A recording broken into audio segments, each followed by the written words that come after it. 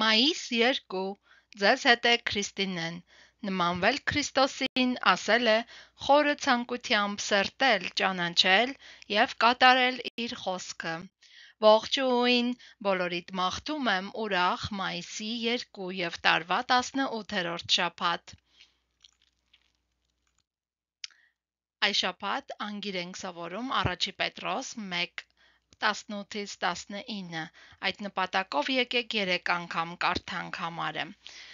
Ես կկարդամ առաջին անգամ։ Իմանալով, որ ձեր հայրենավանդ ունայն կյանքից ոչ թե արծաթով կամ ոսկով փրկվեցիք, այլ Քրիստոսի պատվական արյունով, իբրև անբիծ ու անարատ գառան։ Դուք կարդացեք երկրորդ անգամ եւ ես կլռեմ։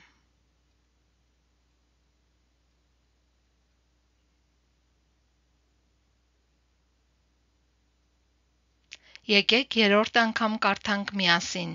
Առաջի Պետրոս 1 18-ից 19 Իմանալով, որ ձեր հայրենավանդ ունայն կյանքից ոչ թե արծաթով կամ ոսկով փրկվեցիք, այլ Քրիստոսի պատվական արյունով, իբրև անբիծ ու անարատ գառան։ Այսօրվա Աստվածաշունչից ընթերցվող հատվածները հետևյալներն են. Ա թագավորած 6 1-ից մինչև 7:17, Սաղմոս 55 1-ից 8,